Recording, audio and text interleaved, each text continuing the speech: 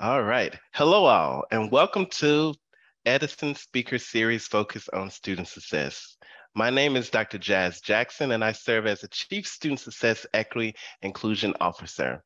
Within the last two years, the university has continued to expand our student services to meet the ever-changing needs of our students, the higher education market, our strategic vision, and our ongoing accreditation efforts.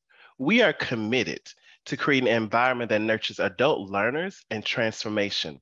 In the spirits of these efforts, my role was created, which oversees the Center for Student Success. The center was created to deliver a more comprehensive support to promote student retention, persistence, degree completion, and career attainment. Student success and equity are key priorities for the Center for Student Success. The Center of Student Success encompasses the Student Success Team, the Office of Academic Advising, including general population, active duty military, and military populations, the Office of Student Accessibility Services, the Office of Academic Integrity, tutoring services, the Office of Equity and Inclusion, the Office of Career Development, and mentor administration. Combining all these efforts have allowed us to build synergy across and around the core functions of student support, satisfaction, and persistence therefore allowing for us to intensify and streamline our student support efforts to connect our, stu- our enrolled students to the right resources at the right time during every phase of their academic life cycle. Today, we will highlight our recent addition to the Center for Student Success, which has enabled us to help our students by providing the right resources at the right time. I'll turn it over to Steve to provide an overview of the Peer Support Program. All right, thank you, Dr. Jackson. So good afternoon, everyone. I am Steve Weinblatt, Assistant Director of Student Success, and oversee the university's peer support program, which is what we are highlighting today as part of the Edison Speaker Series.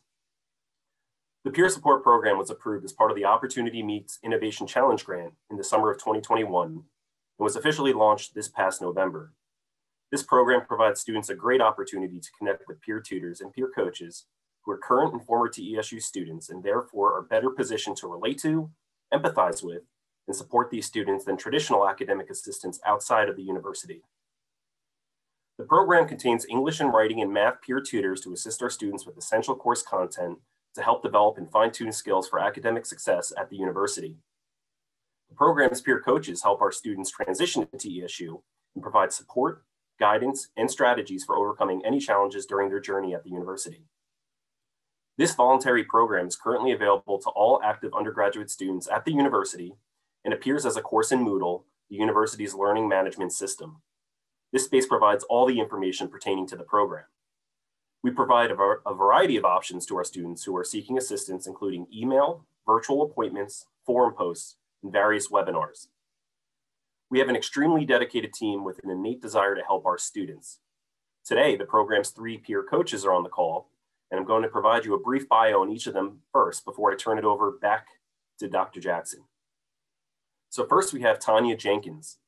Tanya has always sought out ways to help within the community, serving as a STEM tutor for various organizations and mentoring and volunteering with groups like Black Girls Code, Unity Care, and Sunnyvale Community Services.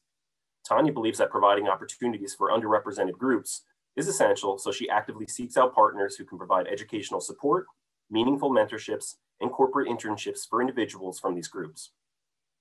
Next, we have Yavanka Brooks. Yavanka is a passionate program administrator of support services for marginalized students, academic advisor, educator, and TESU peer coach on a mission to encourage, enlighten, and help students pursuing a degree help themselves. Although Yavanka considers herself a lifelong learner, she believes the learning process must also include an ongoing process of personal mastery and professional development. Yavanka's passion is to always remain hungry in her quest for knowledge and relentless in pilgrimage. Our third coach is Sherri Hamm. Sherri has served to help people in many ways, from serving as an ombudsman for her husband's river tender unit in Omaha, Nebraska, to coaching and mentoring staff in her almost 22 years in healthcare. She believes in giving back and works with local organizations and fundraising efforts in her, in her community in Virginia, including Riverside's Make a Difference Fund, the Bay School Community Arts Center, American Lung Cancer Society, and the Alzheimer Association, just to name a few. Again, I can't stress enough how excited we are to have these three peer coaches on the team. On that note, I'm going to turn it over back to Dr. Jackson to begin the discussion. Thank you. Thank you so much, Steve, for the overview and the bios. Now we will do our Q&A with our panelists. If a member of the audience would like to ask any additional questions after we go through our general panelist questions, please type those questions in the Q&A area and we'll be able to answer them at the end. Now let's get started with our first question and we will let Tanya go first. What inspired you to become a part of this team? Oh, well, thank you, Dr. Jackson. There are so many things that led to this point for me. Um, I too have been a lifelong learner. I feel that education and just learning something new, whether it's knitting or something more substantive in a different direction, is important to keep us young. I, I, I advocate being young in mind and young in spirit. And so I've always taken online courses. And when I saw the opportunity to pursue a degree with Thomas Edison and joined the, the students here, I realized that it was very different than the other online experiences that I had. So what I decided to do is dig down deep. My kids were in school, so I worked with them and learned that their support helped me. So when I saw this opportunity to help other students, I thought, what better way to um, join a community to help other students thrive and to help myself as well? Because being part of a community to me is what drives you forward. And so once I met you, Dr. Jackson, and you, Steve, and I saw how committed you were to making sure that students at this university thrive and are successful, and you want them to graduate. I really wanted to be part of the team. One of the things I never told either of you is that even if I didn't get the position, I was going to see what I can do to volunteer. so I am so thankful to be part of this community and to help students here. And we're so so thankful to have you a part of the team. All right, we'll transition to Sherri. Your question What inspired you to become a part of this team? Well, as my bio said, I think part of my chemistry and makeup is just a desire to help and to make a difference. But if I want to talk a little bit more granular, at my age, coming back to school was eye opening. I had never taken an online course at all. I spent my first week with Thomas Edison crying. I'll be honest. I even shared that with Steve. I cried a lot that first week and when this came about, I thought I could make a difference for the students who might be feeling that overwhelming feeling or, you know, not a traditional setting. And I didn't want them to feel alone. So I felt like I could make a difference by being there, eh, having walked that walk and help them alleviate some of the stress of their work life balance. Perfect. Thank you so much. And you are a part of the team, Sherri. Next, we have Yavanka. Oh, thank you. First, I'd like to say good afternoon, everyone, and I would like to thank the panel for um, asking me to be a panelist, as well as I would like to thank our participants who took the time to attend today.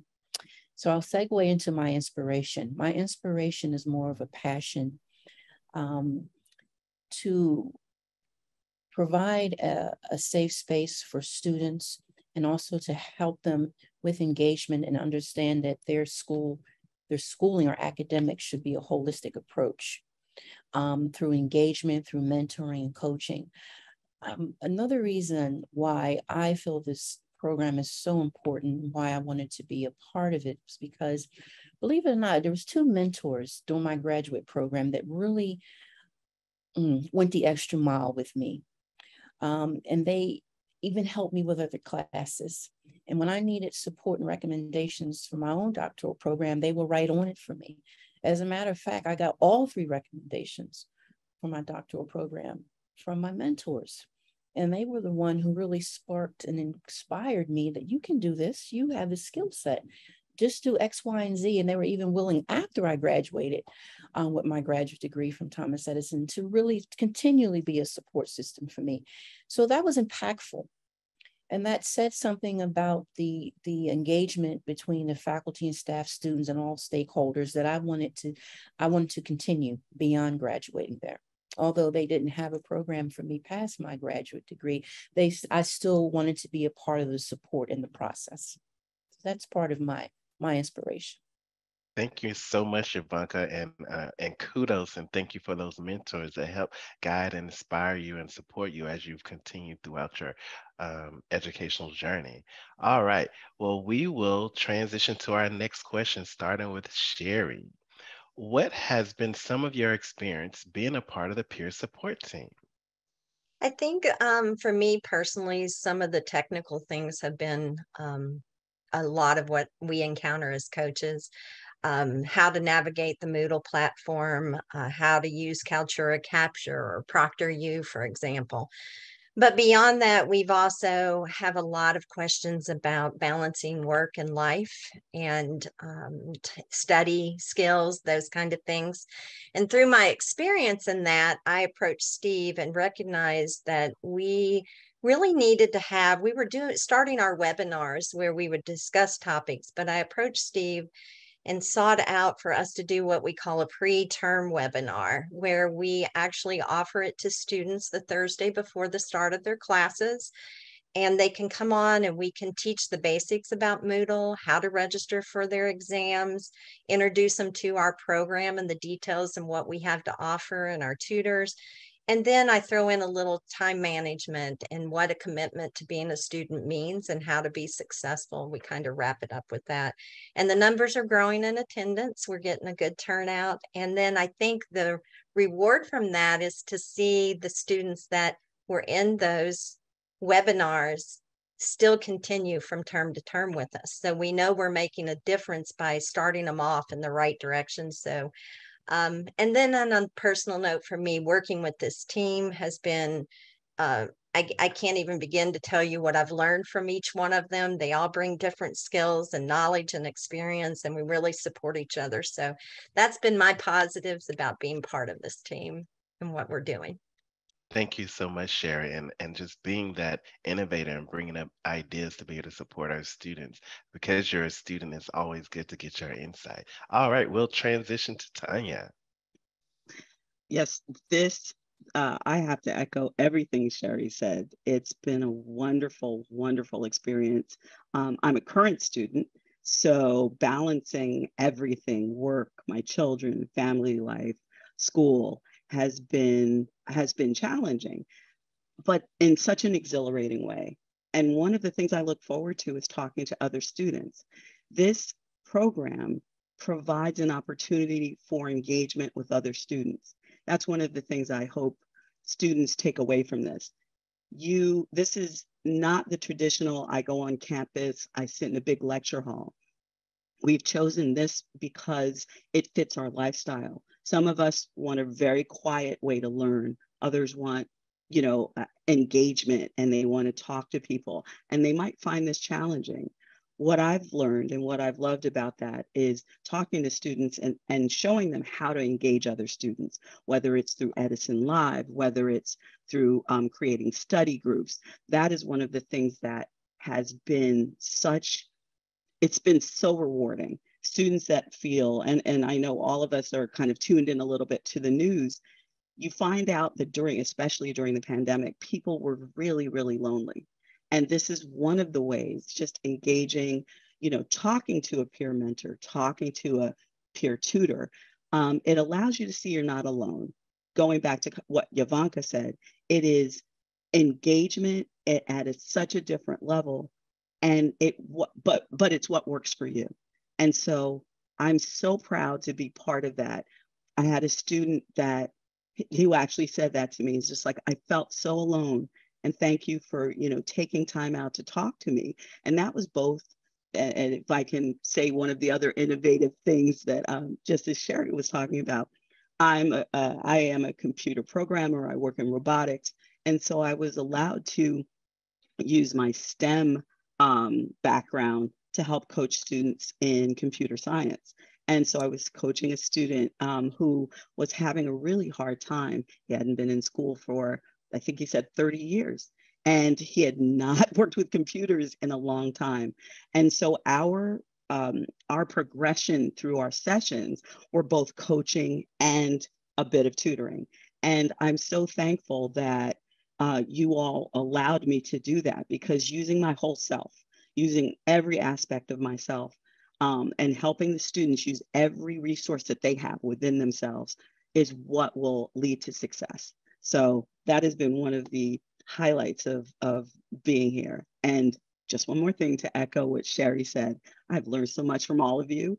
And I feel like part of this team in such a way. I miss you when I don't talk to you. We throw off notes to each other. Um, we support students together. And so I'm so, so thankful. And I love bringing students into an environment like that. Thank you so much, Tanya. So we, we appreciate you being able to leverage your talents in multiple different um, facets here at the university um, and being able to continue to support us as we um, support this isolation that so many people are feeling. And, and one of the things I heard from you is just building a community within this community, not only within the peer support, but outside of the peer support with our other students. All right, Yavanka, now we're on to you.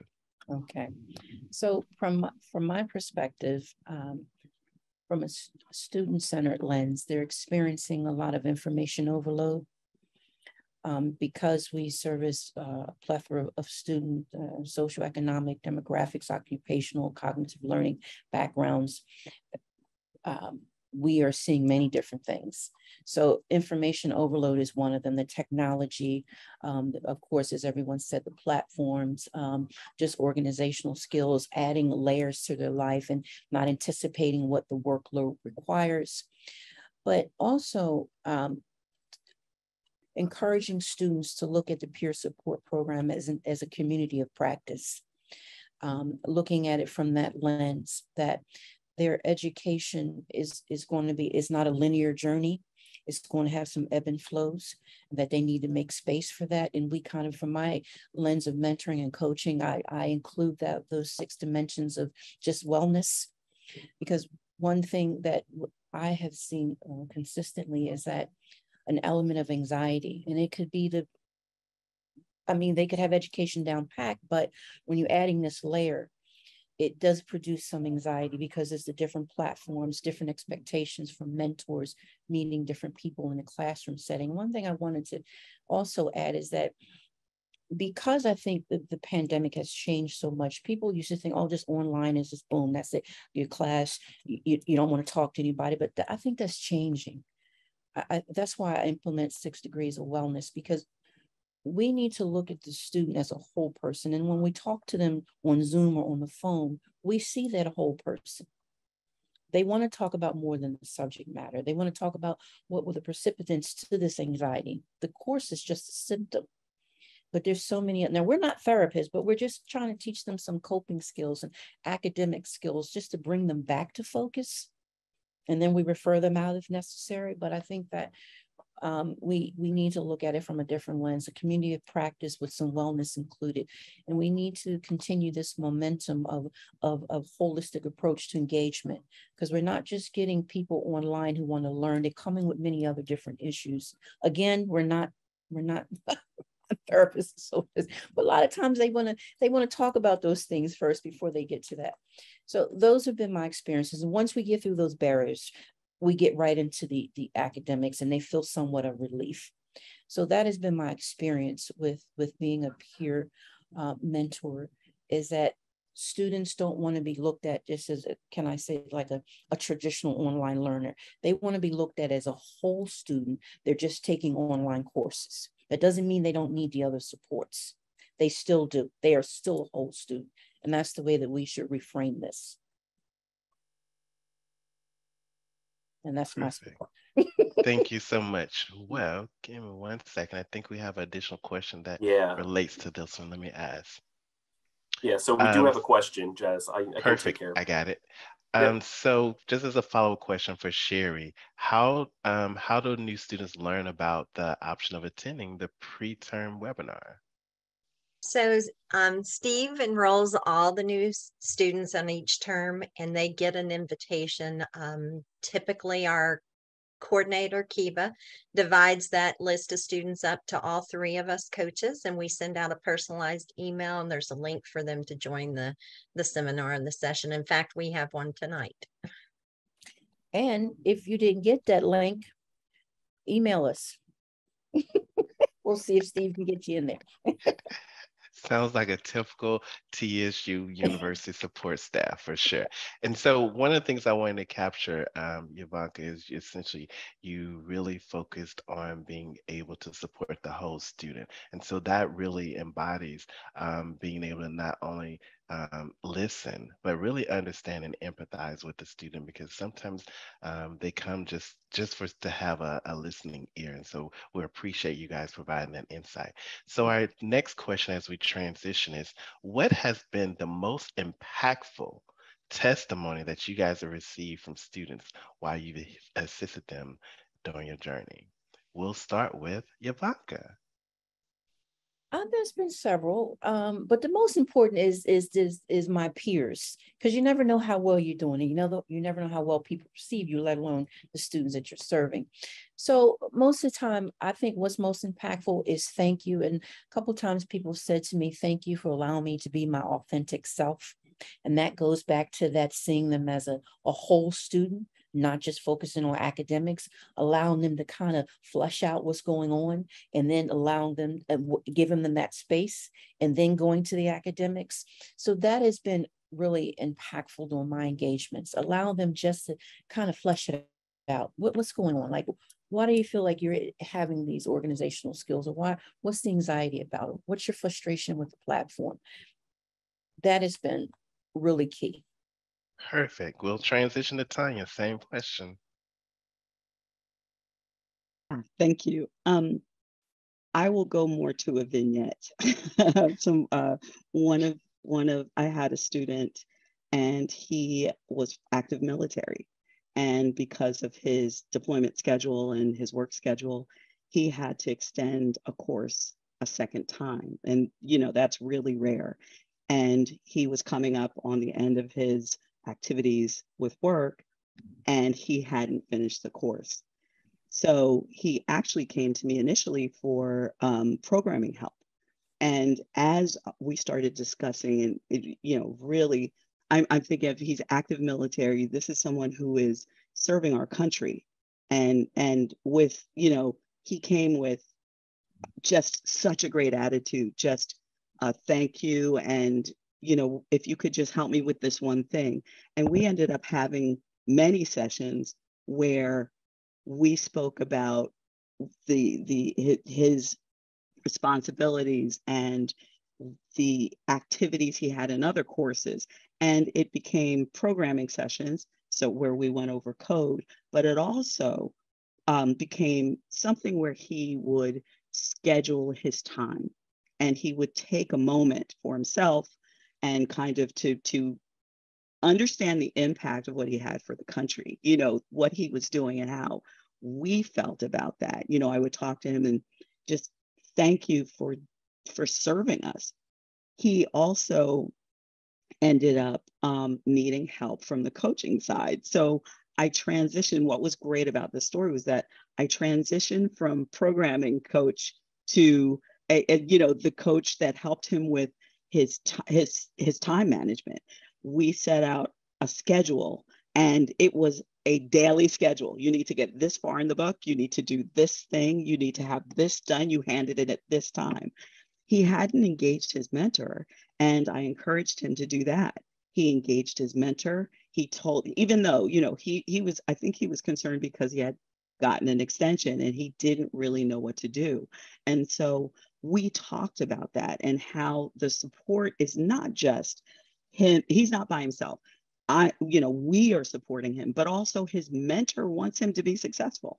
And when he approached his mentor with that, you know, idea that, oh, you, uh, um, could I have your help? Could I get your opinion? What are your thoughts here? This is the material.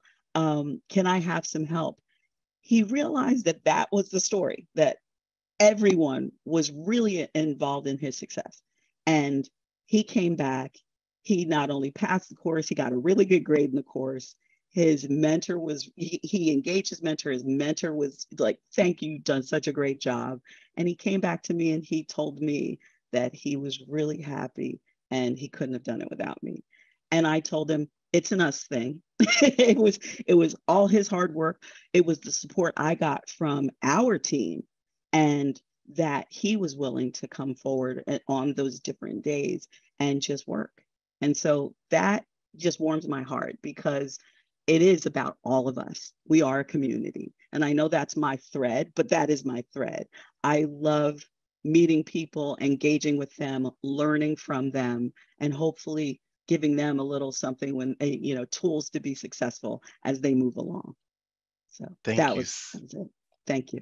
Thank you so much, Tanya. I mean, we we never realize the small impacts that we make, and that's just a great testimony of how this program is essential to support our students. Um, all right, we'll transition to Sherri. Go ahead. Thank you. Um, I wear my heart on my sleeve. Steve will know that that it, it may it's important to me to to connect with those students and make a difference. And not too long after the program started, um, we had a situation that's probably one of the most scariest, but yet um, still sticks in my mind. We had a student post on the social media app about harming themselves. And um, it was after hours, it was weekend. I happened to have it pop up as a student on my phone and I immediately tried to reach out to Steve and what could we do? And with Steve's help and some other resources within Thomas Edison, we were able to locate the student, ensure their safety. Um, my background in healthcare tells me to always take these kind of things serious, regardless. And so um, the student came back later, thanked me for the the connection, for the help, for the engagement. And he and I have exchanged messages a little bit throughout my my time with Thomas Edison, and he is doing well and continues to prosper. But that's the difference that we can make. You know that that community that that Tanya speaks of, and that wellness and and total care that Yavanka spoke up as well. You know, you don't think as a as a college uh, peer mentor that that might be what you're going to encounter, but we did, and um, I think we handled it well, and I think that student will forever be grateful that we were available for them. Thank you so much, Sherri, and we we tremendously appreciate you being there and then advocating for this student by reaching out to Steve. Um, and I know the student is appreciative as well. Um, just really bringing all the pieces together, knowing the value that we're bringing here to our students. So we'll transition um, to our next question. What words of wisdom would you offer to a student to take advantage of this program? We'll start with Tanya. Oh, this one was easy. This is easy for me. Get out of your head. Don't worry about what people will think if you ask for help. I know this personally because I've always had that kind of, I should know this. Shouldn't I know this? How do I figure this out? And throughout my life, you know, it's worked out well, but throughout my life, I realized that I could have just reached out and, and asked for help.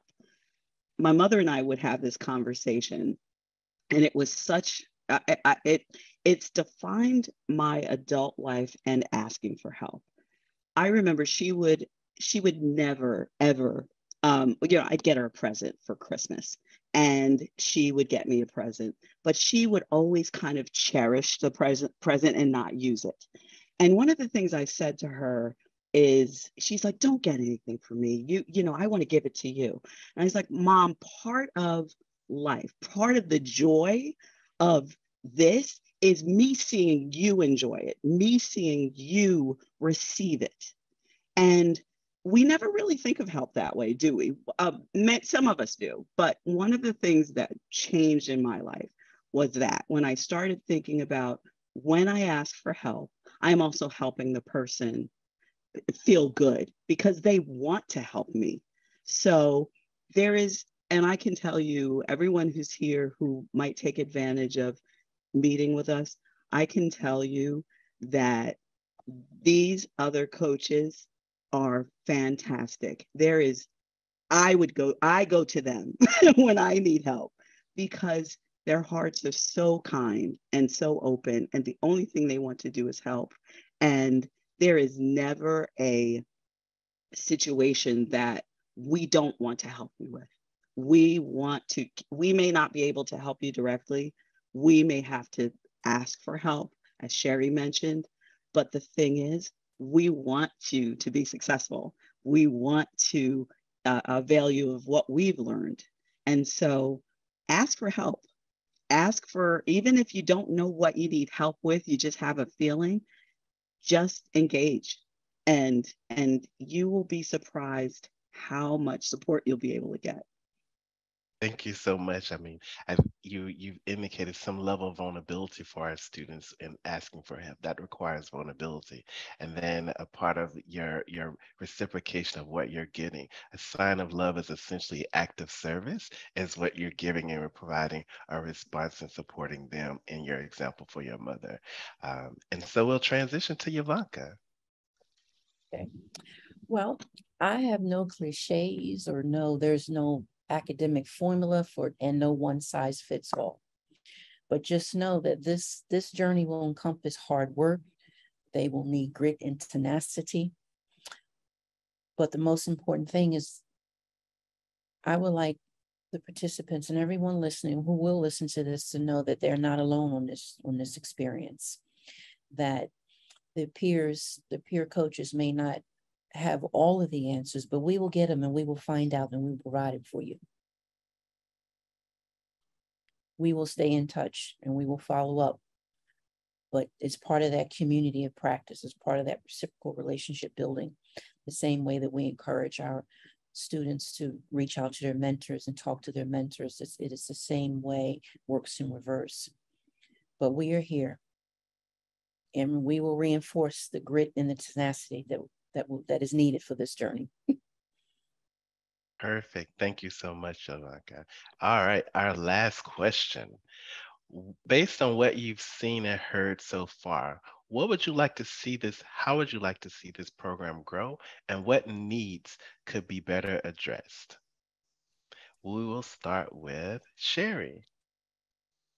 I'm going to talk more technical, probably. Um, first of all, from a coach's perspective, there are some technical barriers for us um, with being able to demonstrate things in a course for a student. So I come from my healthcare background. We had what we called a training environment or a playground. So it would be nice if Moodle had that that same ability where we had a course that we could actually go in and I know Steve is working on something for us now but that we could actually go in and look and view it just like a student sees it and mm-hmm. show them uh, live demonstration on how to attach things or or locate information. Because uh, as we transition out of being a student and graduate a lot of our courses disappear and some of those things that we could use as demonstration tools are no longer available for us. Also um, another thing that comes to mind is if there's a possibility for us to actually have access to the what courses a student is taking and actually go into those courses. I know that's probably another type of level of security, and Steve and I have talked a little bit about that, where we could actually go in and see who their mentor is or see their specific assignments or their specific syllabus so that when they are not able, some are not, even though they're taking online, they may not be quite as tech savvy. And so when you're trying to through Zoom trying to have a conversation and say, click here, click there. Sometimes it'd be easier if we could demonstrate for them. Um, we also use a program that's not so easy for them to schedule appointments. So if there was eventually a platform that makes it a little bit easier for them to connect and and make appointments with us, that would be nice. And then from the student's perspective, I think we need to be more visible. I think there's ways we can do that. I think one, it, it might even be embedding us in their courses, a link in their courses, or maybe even mentors um, when they do their initial course announcements, also introducing us in that beginning of that term and giving our information a little blurb about us and how to connect. I think that's going to touch even more students than we presently are. Um, Tanya and Yavanka both have referenced that, you know, this is not traditional learning environment. So most of our communication comes through email and people are inundated with a lot of email. And so I think they miss things. So I think that if we were kind of in that beginning stage of their term and an announcement from the mentor, I think that would be very beneficial. And so that's more from a technical side of some of the things I think we could do to make it work a little better for our students. Perfect. And Sherri, I got a little ahead of myself. I didn't get your response. What words of wisdom would you have to offer our students? Um, well, first of all, it's free. Um, there's not much in life that's free. So I always say take advantage of the free. But you're also going to get from us um, that we've walked that walk or we're currently walking that walk and we have that experience. So we're going to provide you a different perspective. And I think that would be beneficial. We're also going to be your biggest cheerleaders. And the other coaches can tell you when they um, attend the new student webinar. That's one of the things I talk about. We are not just here for the technical things. We're here, you know, if you need to chat, you need to vent. If you're frustrated, we're going to be here to listen. We are going to be your community, as Tanya says. We are your TESU family. And then finally, they get to work with all of us. And so I want to toot our horns a little bit. We all come from different backgrounds. We have a lot to offer. And I think that they are going to learn things from us that will carry them through their entire academic career, helping them reach their goals, but ho- hopefully even beyond. They'll remember us as as Yavanka said, her mentors, she remembers them and they'll take them on into their career.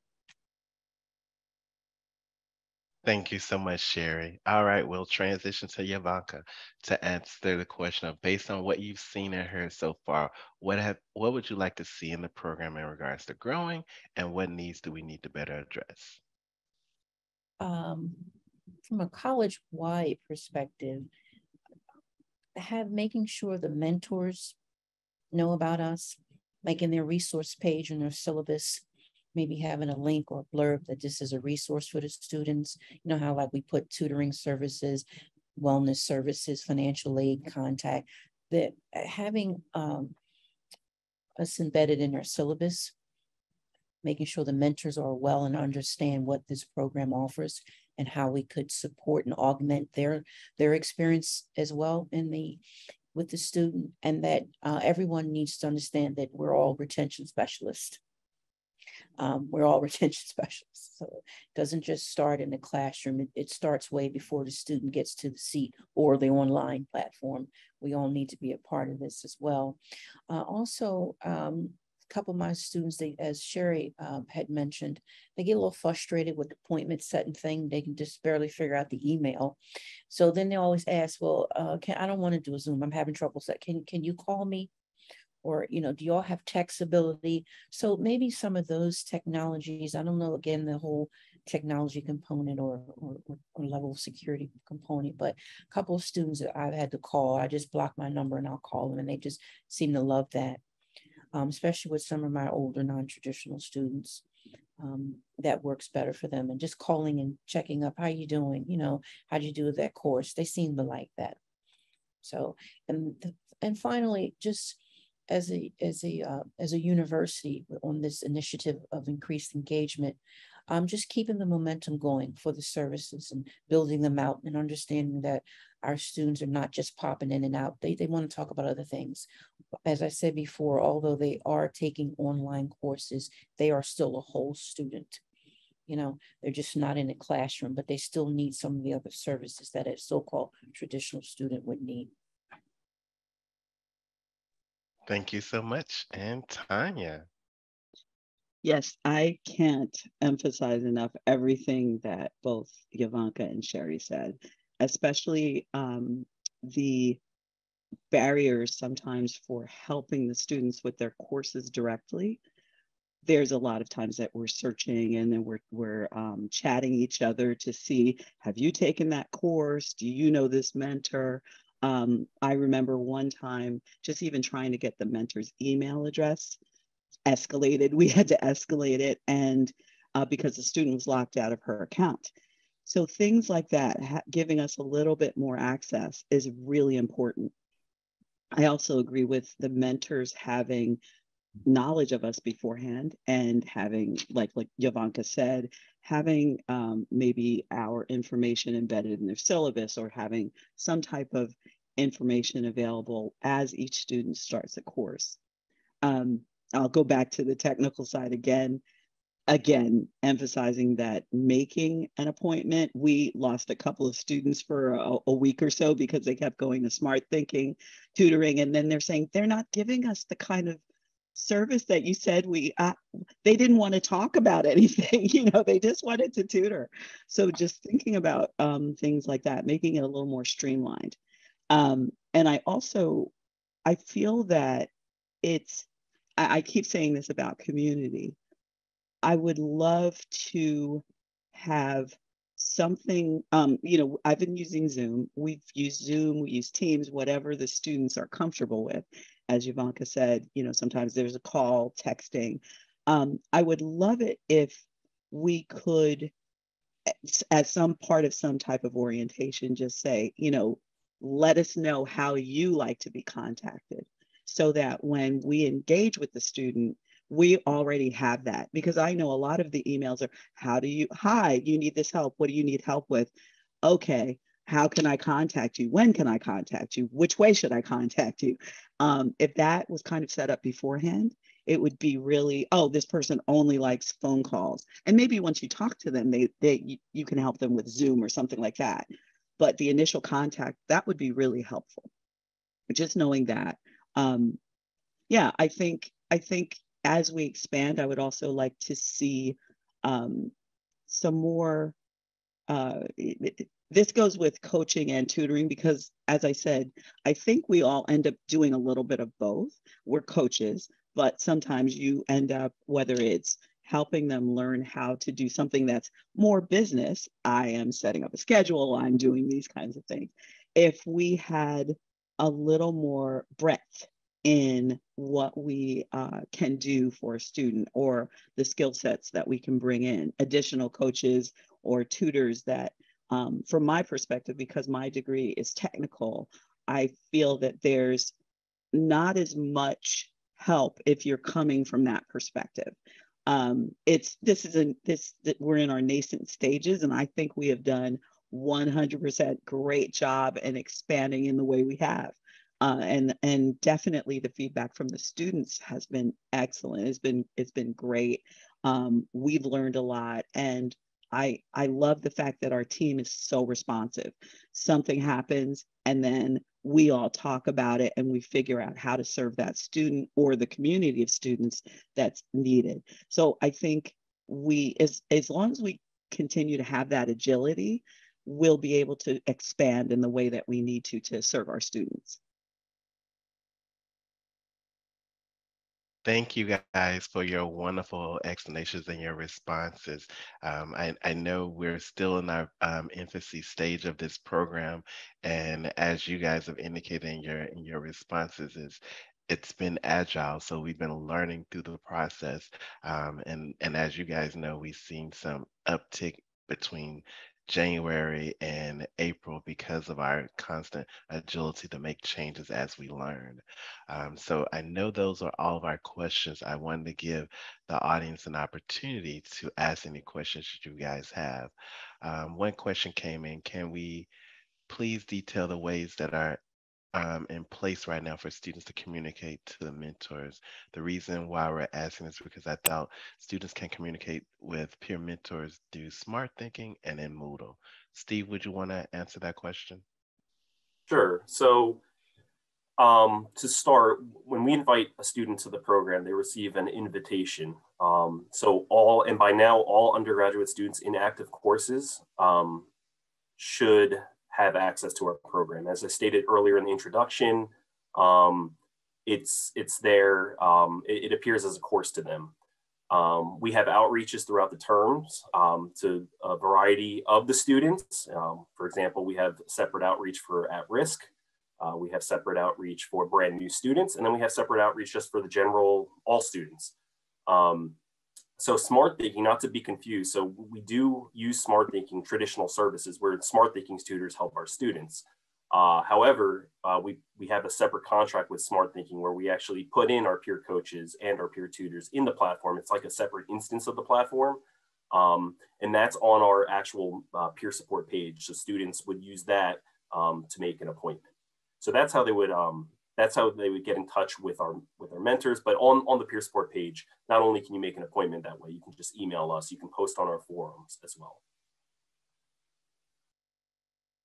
So we have another question regarding what kind of information can we give to mentors to talk about the program. I know Steve and Steve and the mentors or the peer support team have talking points that can be drafted.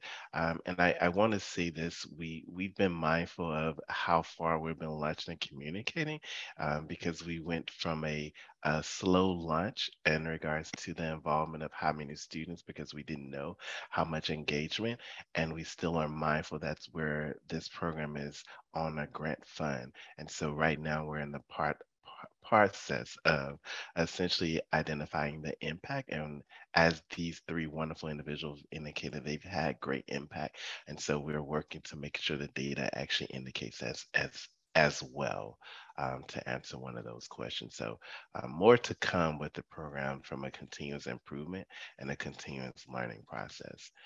Do we have any more questions? I would just state uh, there might be some confusion. I'm not sure in the questions, but um, keep in mind, our we initially named our our um, coaches peer mentors, and I think there's some confusion with a course mentor and a peer mentor, so that's why we changed it to peer coaches. I, I just wanted to be clear with that. I'm not sure if there's some confusion in the question. So our course mentors are obviously completely different.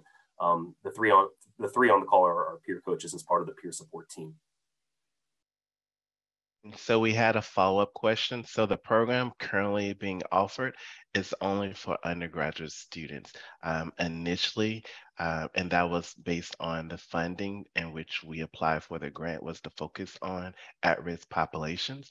And so in the beginning, we focused on initial at-risk populations and the engagement wasn't as high because the population was as large. And so throughout the process of getting to today, we've expanded to the entire undergraduate population to all active students. Um, and that should have answered the following question. So as we continue to learn, I imagine um, we may be able to do a phase two of this if we're able to get funding to focus on graduate students as well.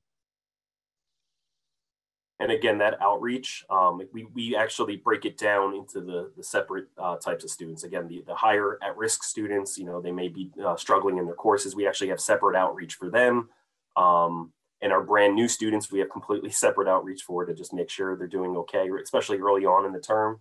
Uh, and then we do have outreach that goes out to everyone. Perfect. All right. Um, I so the response to the last question that just came in, we have funding into September 20 23. So next year during this time, um, with the anticipation that we get funding to continue to move this forward. But the original um, grant that was funded ends in September 23.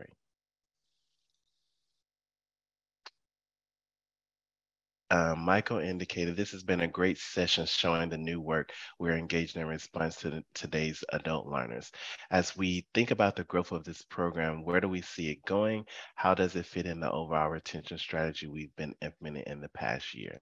So great question, Michael. Um, essentially, this is, um, I call it another piece of the pie. And so we've done a lot um, in regards to thinking about the life cycle of the student. We launched the orientation in April and which the peer um, support team have been able to they actually reviewed the course and provided feedback. And so that was prior to lunch to provide an insight on the onboarding of the course. In addition to that, um, we wrote out specific communications cadence with the advising team to look at specific students um, that are not engaged within um, from a term by term perspective of not engaging a week or two within a course. And also, we've also been able to um, roll out a transition in the LMS, which allow for us our uh, students to get real-time grades, which allow for us to be able to develop triggers to be able to identify when students were not being successful in courses. And so now we have a specific communication cadence that focuses on students that are not doing well in courses of 7-3 or below. Um, and so all of these items are just continue to be a piece of the puzzle. And as we learn and look at the data, we're essentially making modifications. We're leveraging our advice to send out automated communications. We're doing specific outreach for students that are not engage. Um, and as they respond, um, we're working with all these teams to make sure that none of the work is duplicate, but a supplemental part of all the pieces as we move forward. And and so yes. another the another Jackson, can I jump in just for a moment? Yes. I know I said I was going to stay quiet, and I know I said I was going to keep my camera off, and I did them both really well. Except, of course, I was um, texting back and forth with the provost saying how excited I am about this. Um, and I'm hoping, I know that we have Leanne just on the comment on the funding. I know we have Leanne on the call. I was looking at the attendees. And if I know her at all, she's thinking about, okay, how, how do we take this and make it into an ask um, for another grant because the work that you're doing, and I love your agility comment. Um, just and I and I love the community of learning about our students and trying to solve it not in one silo, but then saying, okay, wait, if one student has this, what are we learning from it as an organization? How do we help? Um, so I just want to put that out there that I, I think this work is fantastic. I realize it's in its infancy stage um, and we're trying new things and trying to find out how we serve. Um, my guess is everybody on this call, especially folks within our student services and enrollment and retention and recruitment are thinking, wow, how do we put this out for everybody? Um, and, and I know we can't quite get there yet, but I want to share that I, this is a fantastic session. Um, I'm, I'm learning just listening to, to what our peer mentors are learning about our students and thinking about what we need.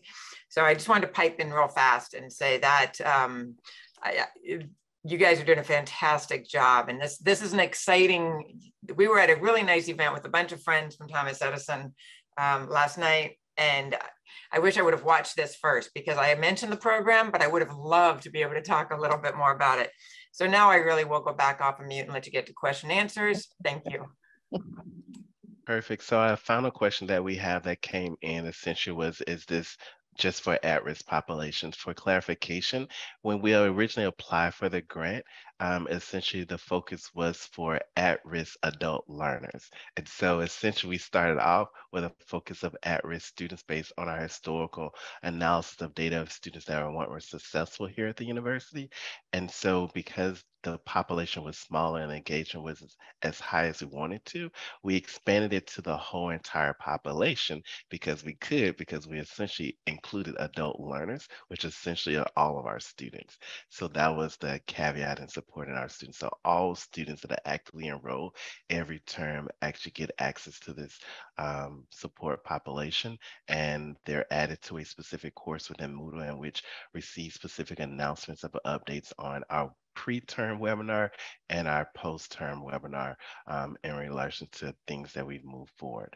So I want to echo um, what Dr. Hancock has indicated as we appreciate each one of our um, peer support members. And I want to also highlight that we also have additional people that are on the team that weren't able to make it today because they have full-time jobs um, like these um, support members, but weren't able, they had conflicts. And so we want to thank those people that are are absent because they are part of this community and this family as well. And so um, just final closing thoughts. Thank everyone for attending the sessions. If you have any additional questions, please feel free to email peer support at tesu.edu. In the words of Yavanka, we are all retention specialists. In the words of Mahatma Gandhi, the best way to find yourself is to lose yourself in the service of others. Thank you guys, and we appreciate your time today. Thank you. Thank you. Have a good afternoon. Thank everyone. you. Mm-hmm. Thank you. Thank you all.